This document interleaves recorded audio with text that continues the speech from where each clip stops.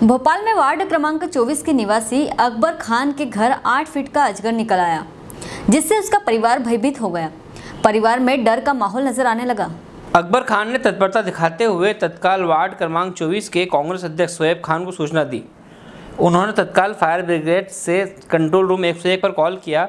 वहाँ से शेख आरिफ गोताखोर ने सांप वाले असलम खान को सूचना दी। तत्काल मौके पर पहुंचकर असलम खान बड़ी मशक्क़त के साथ अजगर को पकड़ने में सफलता हासिल की है।